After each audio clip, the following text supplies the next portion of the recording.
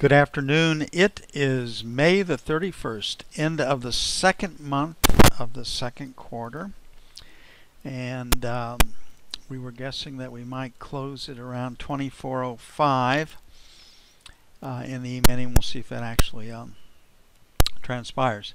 We'll start with our disclaimer. Hypothetical or simulated performance results have certain limitations and like an actual performance record, simulated results do not represent actual trading. Also, since the trades have not been executed, the results may have under overcompensated for the impact, if any, of certain market factors, such as a lack of liquidity. Simulated trading programs in general are also subject to the fact that they are designed with the benefit of hindsight. No representation is being made that any account will or is likely to achieve profit or losses similar to those shown. So, uh, we came in this morning and uh, we got through, uh, I think, three trades in the E-mini. Either one of these trades um, would have worked uh, for anywhere from 7, I mean 9 to 11 points, exiting on that bar's close right there, depending on which one that you took.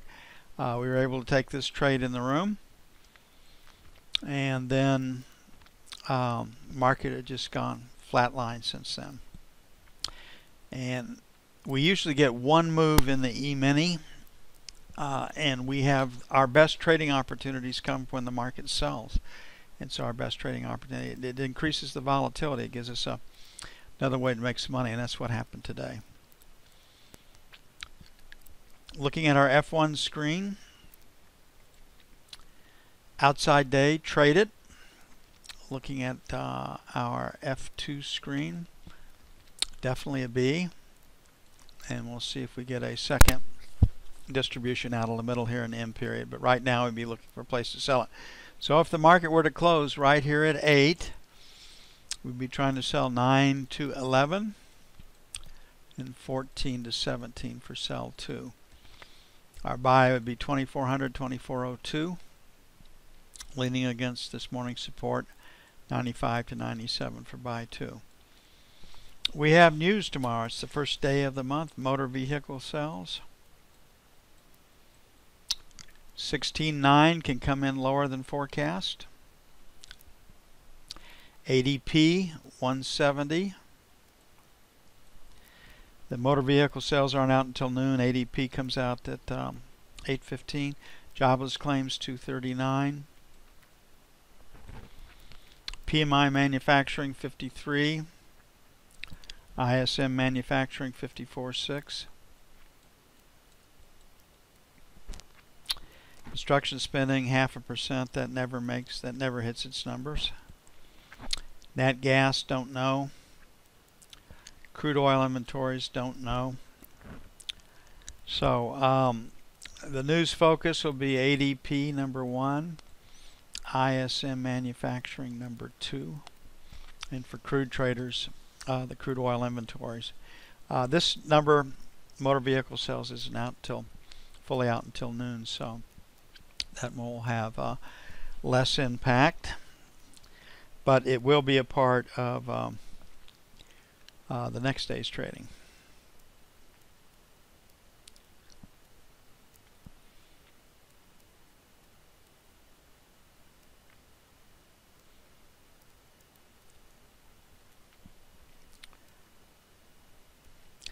Okay, uh, we'll be trading the June contract and the 10 year tomorrow.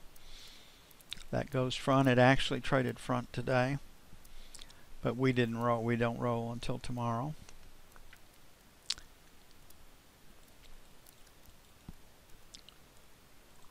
So higher low, higher high. Find a place to buy it on the F1. Uh, we're going to have a P on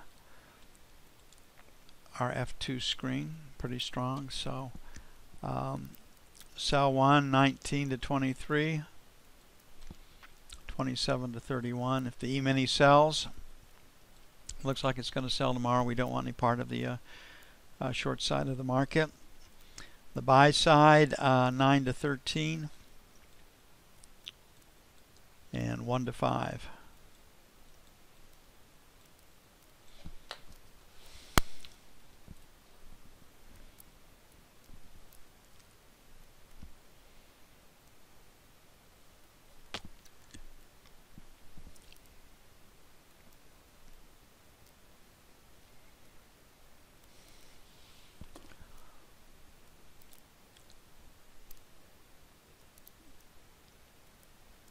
Looking at the 30 year.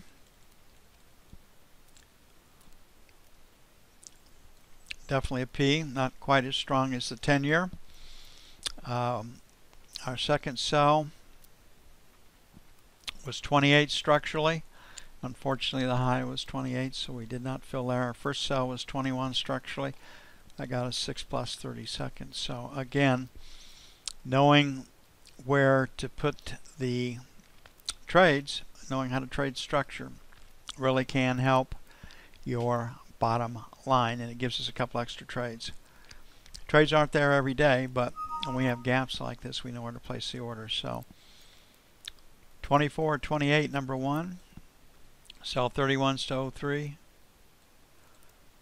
7s to 11, sell 2.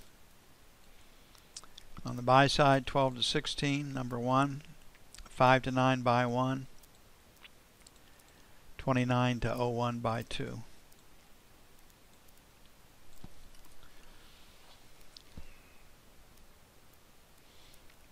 Hope you all are enjoying yourself and learning a lot. That's the purpose.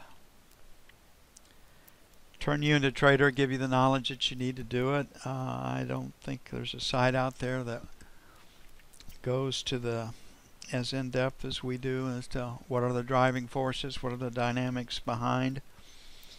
And the reason we do that uh, is to help build your confidence, let you recognize this phenomena or dynamic, and help you make a trade. Looking at gold, higher low, higher high, we can buy it. We got up above 75, our second sell zone this morning. And looking at F2. Uh, so 75, 77, sell one. Still have a nice P behind us and we're still moving higher. Then uh, 79, 81, sell 2. Stops above 1300 if we can get through 75 would be the next stop. The buy side 69 to 71, buy 1.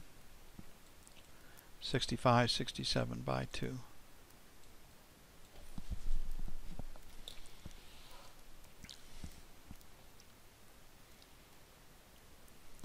What was interesting in the beige book, uh, the jobs are there. We are uh, skilled work. We we don't have the skilled workers we need to fill a lot of jobs, and the two biggest um, failings in the job testing were drugs and math. And you can point right to our public education, our government-controlled education for that. Um, when the feds got involved in the late 60s. That's when our educational system peaked and it's been headed downhill ever since. And no one has ever held accountable uh, for this. And all you know, the solution is give us more money and smaller class size. And then, but what you do get is um, kids with a lot of self-esteem. How is that going to help you in the workforce? Lower high, lower low in crude oil. Find a place to sell it.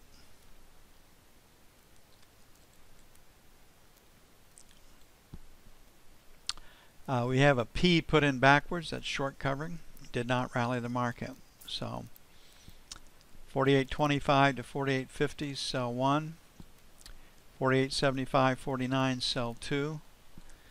47.50, 47.75, buy 1. We have the APIs tonight. They're playing like there's going to be a build. 47 even, 47 and a quarter, buy 2.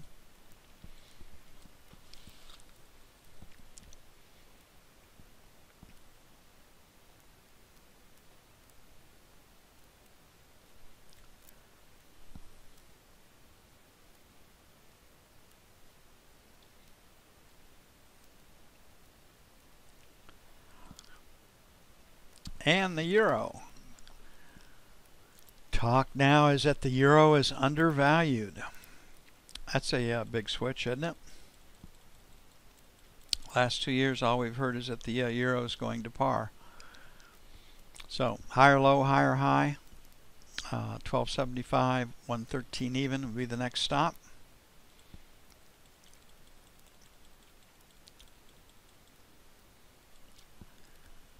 everybody's screaming about the United States withdrawing from the Paris climate control, which is a way for crony capitalists to make lots of money.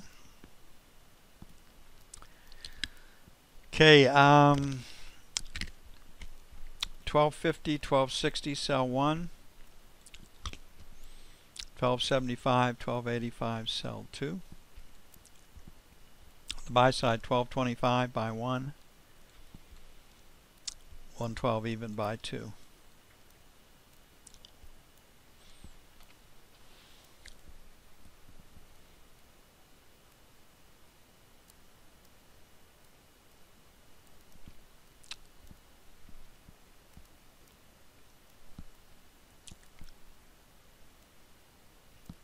And that's it for this last day in May of 2017. See you bright uh, and early uh, in the morning. Uh, y'all have a great evening. We'll be back at it again in the morning.